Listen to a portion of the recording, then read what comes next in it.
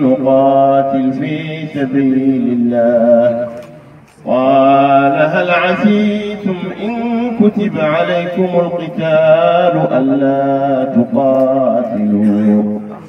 قالوا وما لنا ألا نقاتل في سبيل الله.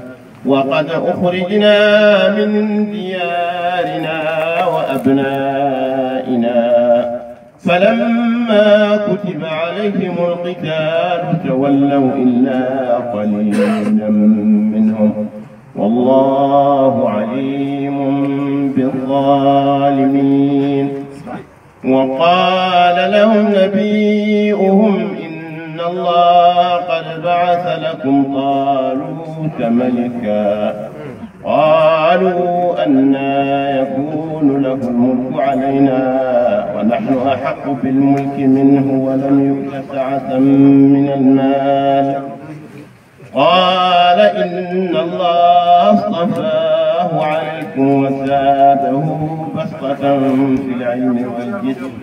والله يؤتي ملكه من يشاء. والله واسع عليم. وقال لهم نبيهم إن آية ملكه أن يأتيكم التابوت. فيه سكينة من ربكم.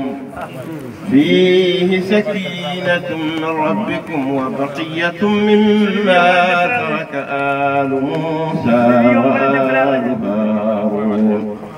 تحمله الملائكة. إن في ذلك لآية لكم إن كنتم مؤمنين. فلما فصل طالوت بالجنود قال إن الله مبتليكم بنهر فمن شرب منه فليس مني ومن لم يطعمه فإنه مني. إلا من اغترف غرفة بيده فشربوا منه إلا قليلا منه.